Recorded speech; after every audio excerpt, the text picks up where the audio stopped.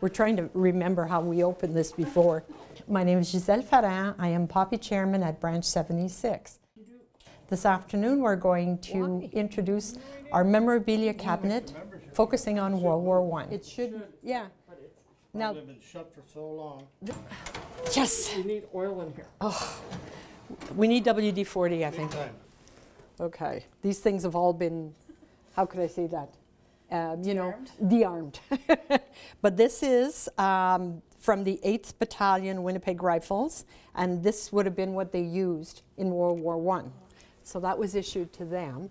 This is uh, ointment for gas. Um, in Vimy, or at Vimy, the Germans used um, gas, mustard gas, and this would have been issued to all the troops. And as it says here, use as soon as possible, rub in vigorously for not less than one minute. Now, this one, okay, well, again, it doesn't have, but it's a picture of von Hindenburg, and I'm not sure if it was replicated or an original, just the fact that it's, um, they had a lot of um, China back then. He was a, um, I believe, uh, in the German army, he was one of the ones who um, was actually in charge and uh, le- led the charge on a lot of Allied positions. Uh, and this is the rock that I was telling you about. They actually comes out of the tunnel. That's exactly what they, they saw on uh, in the tunnels Okay. where the soldiers were. It was good news, and it was bad news. The good news was um, it t- turned the tide of the war uh, for in, in the Allies' favor. Uh, favor.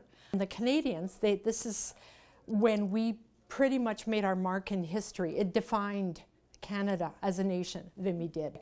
The next item that might prove interesting is the trench knife, which the soldiers used to, while they were in the trenches, to actually dig themselves, um, either a wider one or to help them get out of the trench.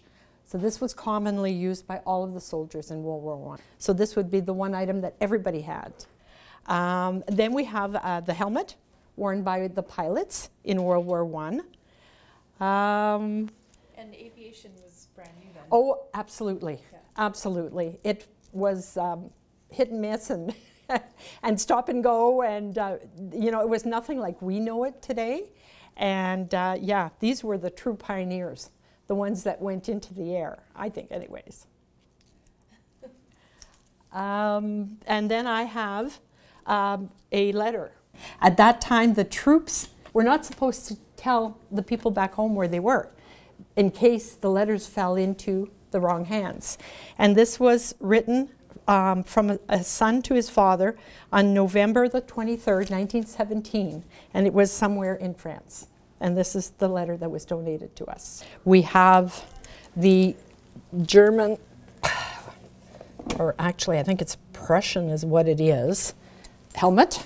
It was obviously, and somebody with a very small head. Yeah, that looks like a kid's head. Yeah, it is. And the, usually, the uh, soldiers that fought with these were on horseback. Normally, you would see them on horseback. But yeah, that's another artifact that uh, was given to us. I have um, a little one, a little granddaughter who's three. When she starts asking questions, it's time to say, okay, this is what happened. This is why we do what we do.